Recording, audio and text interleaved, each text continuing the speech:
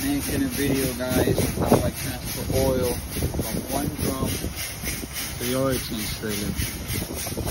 So you guys see, I don't mind Mickey Mouse oil. I rip the cap off. Where it's being pumped freshly, nice oil. And it comes through that line